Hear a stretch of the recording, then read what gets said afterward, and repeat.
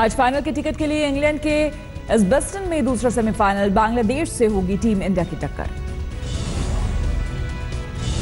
Semifinal मुकाबले से पहले कप्तान विराट कोहली ने भरी हुंकार, कहा हम विरोधी टीम के बारे में नहीं सोचते। चैंपियंस ट्रॉफी के फाइनल में पहुँच चुका है पाकिस्तान, कल सेमीफाइनल में इंग्लैंड को आठ विकेट से दी मात।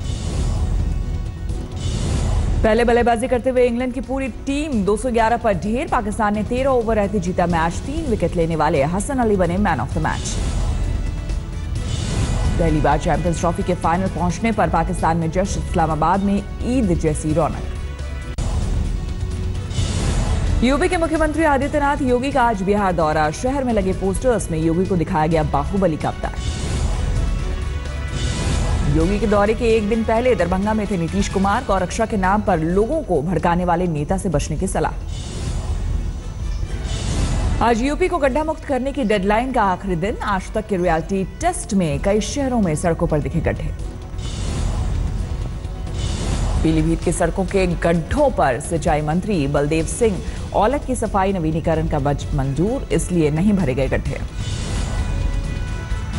मुख्यमंत्री आदित्यनाथ ने कल गोरखपुर में गड्ढों पर दिया जवाब। एक लाख इक्कीस हज़ार किलोमीटर की सड़कों पर गड्ढे। पिछली सरकार ने खाली छोड़ा था खजाना।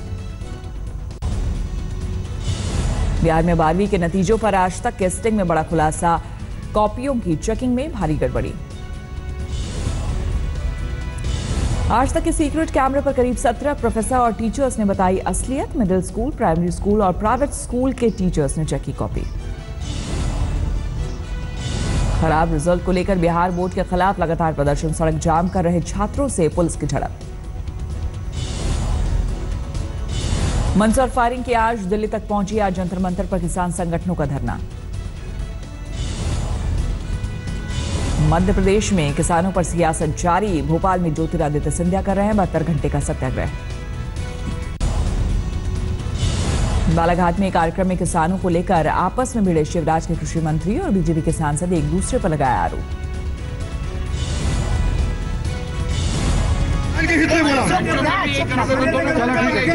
चोर धंधा चलाओगे और ऊपर इधर मध्य प्रदेश सहित दूसरे राज्यों में किसान आंदोलन की चिंगारी, जयपुर में कर्ज माफ़ी के लिए किसानों का विरोध। छत्तीसगढ़ में किसानों और सरकार के बीच तनातनी बढ़ी। आज 10 लाख से ज़्यादा किसानों ने सड़क पर उतरने की कर रखी है तैयारी, हाईवे जाम करने और रेल रोकने का भी इरादा। किसानों के आक्रोश के बीच मोदी सरकार का मरहम, तीन लाख तक के लोन पर पाँच फ़ीसदी तक की ब्याज माफ़ी। तेईस जून को बीजेपी कर सकती है राष्ट्रपति पद का उम्मीदवार के नाम का ऐलान। कल बीजेपी कोर कमेटी की बैठक में चर्चा।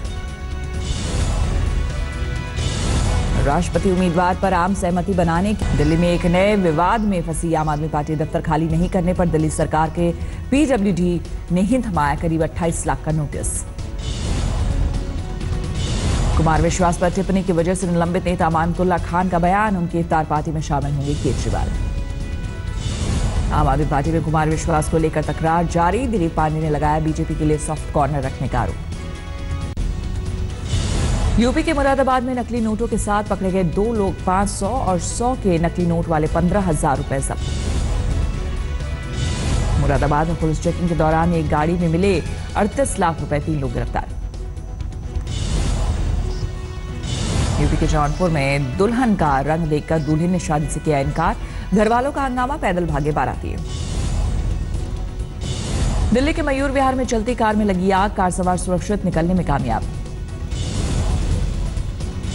गंगा के उद्गम गोमुख से जुड़े गंगोत्री नेशनल पार्क में आग से अफरा तफरी तेज हवा से फैली लपटे।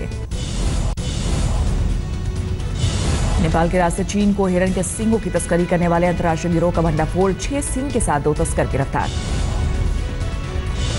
बिहार के समस्तीपुर में लड़की को ज़िंदा जलाने की साजिश। इलाज के दौरान लड़की की मौत, पुलिस के मुताबिक बदला लेने के लिए रची साजिश।